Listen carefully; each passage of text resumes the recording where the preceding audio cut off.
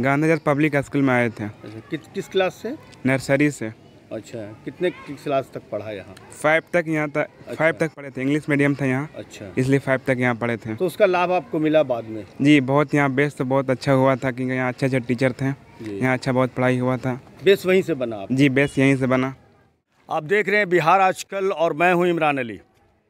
आज हमारे साथ जो प्रतिभा है वो शेरघाटी के एक ऐसे गरीब परिवार से है जिसने कहीं ना कहीं अपने आप में एक मिसाल बनाया है।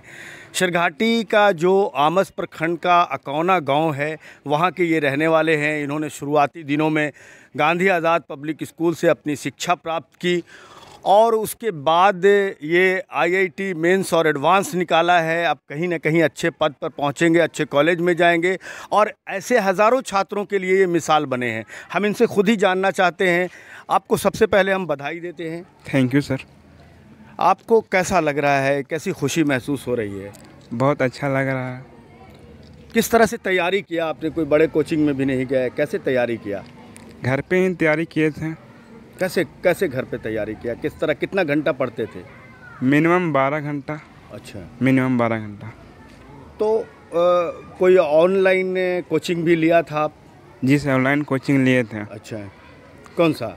फिजिक्स वाला। फिजिक्स वाला। जी। अच्छा। बहुत सारे गरीब बच्चे ज़्यादातर जो मिडिल क्लास हैं वो फिजिक्स वाला को ही प्राथमिकता देते हैं। जी सर। जी। ऑफलाइन में कोई क्लास? ऑफलाइन में कहीं क्लास नहीं किए थे सर। अच्छा। कहीं भी नहीं।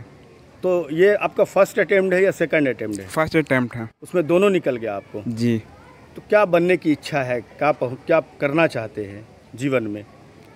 बनने का शौक तो है इंजीनियर कंप्यूटर साइंस से। अच्छा। जी। भारत में मतलब सब लोग चले जाते हैं दूसरा विदेश में चले जाते हैं कोई भारत में नहीं रहता है। तो हम सोचे भारत में रह के कुछ अच्छा करें। अच्छा। जी।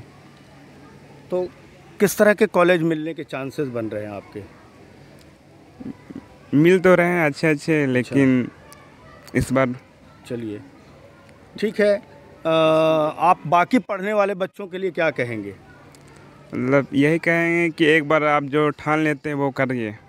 एक बार आप जो सोच लिए हैं कि बस हमको इंजीनियर बनना है तो बनना है किसी भी हाल में। चलिए बहुत बहुत धन्यवाद। विवर्स आप सुन रहे थे इनकी बात। ज़ाहिर है उन दूसरे बच्चों के लिए भी ये प्रेरणा की बात है कि कहीं ना कहीं लोग बड़ी शिक्षा या उच्च शिक्षा हासिल करके विदेश चले जाते हैं, लेकिन इनकी जो एक बड़ी मंशा है वो ये है कि ये देश में ही रहकर देश के लोगों के लिए काम करना चाहते हैं।